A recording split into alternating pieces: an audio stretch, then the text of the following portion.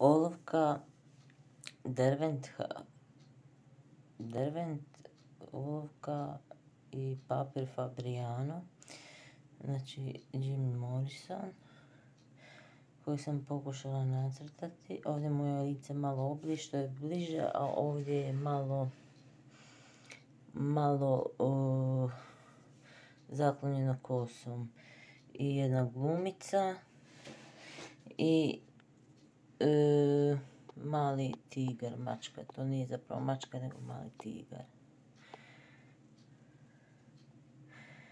Ovdje se, ovdje možete poslužiti jednostavnim trikom da uzmete aplikator za šminku i tako se e, grafit bolje upije u papir.